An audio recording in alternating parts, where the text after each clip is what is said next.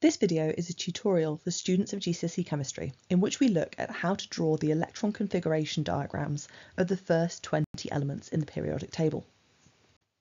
You're probably already familiar with this model of the atom, which we often refer to as the modern model of the atom or the Bohr model of the atom.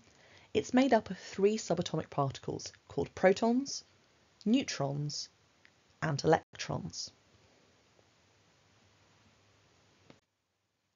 In questions about electron configuration, or it's sometimes referred to as electron arrangement, we're not actually interested in the protons and the neutrons. So rather than drawing that full atom, we would just draw the nucleus as a simple dot, and then we would represent the electrons with either dots or crosses. To find out how many electrons any particular atom has, we can look at the atomic number. And this is going to be the lower of the two numbers on the AQA GCSE chemistry periodic table, but for any periodic table, it will be the smaller of the two numbers. Having said that, we're going to start with the first element, hydrogen, and as you can see here, hydrogen actually has the same atomic number as mass number. So we can see that hydrogen has a single electron and the rule is that we're always going to place electrons as close to the nucleus as we can. So for hydrogen we're only going to make use of the first shell and we're going to add our first electron to that shell. We can also write a numerical electron arrangement or electron configuration and at the moment it's not going to make a huge amount of sense but we're just going to put a number one in brackets. As we've just mentioned, the number of electrons for any particular atom will be the same as its atomic number. So helium here is going to contain two electrons. And as we've also just mentioned, we're going to place these electrons as close to the nucleus as we can. So because this first shell can contain up to two electrons, we're not going to start a second shell, we're going to continue with this first shell. So the first electron goes exactly where it did for hydrogen, and the second electron also goes into this first shell. And now we can represent our electron configuration by the number 2 in brackets. And this tells me that I have two electrons in the first shell. Now we're going to move on to lithium, which has three electrons. And so now we're going to start needing to use our second shell, because that first shell could only fit two electrons in it. So we place our first two electrons as near to the nucleus as we can in shell 1, and then the third electron is going to spill over into the second shell and this second shell can contain up to eight electrons. Right now we're only putting one in there because lithium only has three in total, but as we continue we'll steadily add more and more.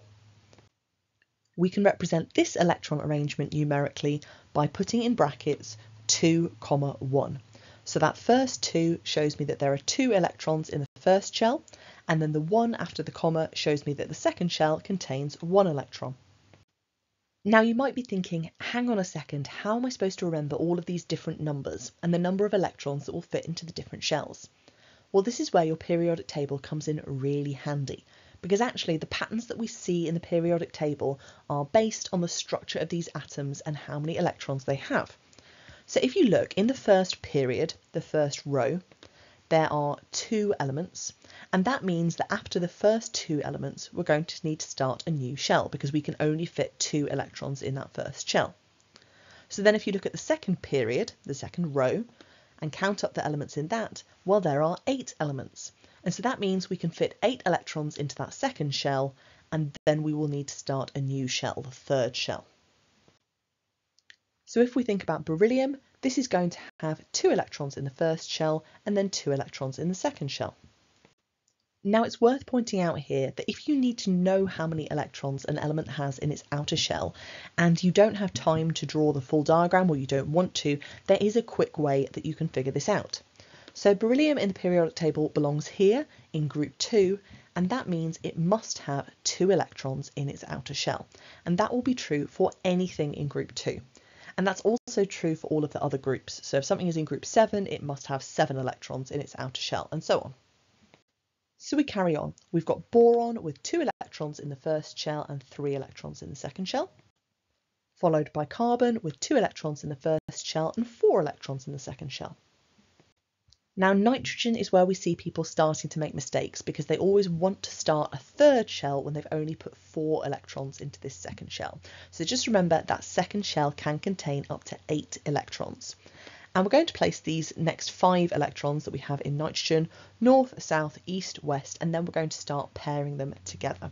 So we have two in our first shell and then five in our second shell, making seven in total. Then oxygen with eight electrons in total has two in the first shell and six in the second. So of course it's in group six while fluorine has two electrons in the first shell and seven electrons in the second shell. So as you can see, there are three pairs and then one electron on its own. And then neon in group zero has two electrons and then eight. So it has this full outer shell, and this is what makes neon so very stable and inert and unreactive, because it's a noble gas. So now that we've had eight electrons in our second shell, it must be time to start shell three with sodium, which is going to have two electrons followed by eight electrons, followed by a single electron. And if we look back at period three, that third row, then again we can see that there are eight elements, and therefore we're going to add eight electrons to shell three before we can start shell four. When you get to shell 4, you're only ever going to be asked to draw the electron arrangement of potassium, which is in group 1, or calcium, which is in group 2. And the reason for this is that after calcium, there are some new rules that we're not going to talk about until we get to year 12 and A level chemistry. So it's not just that they're being kind and saying we'll stop at number 20, it's that these diagrams are not going to work in the same way after element 20. So you can guarantee that that is the last element that you might be asked to draw the electron arrangement for. Thanks very much for watching and I hope you're now feeling more confident in drawing electron arrangement diagrams for the first 20 elements of the periodic table.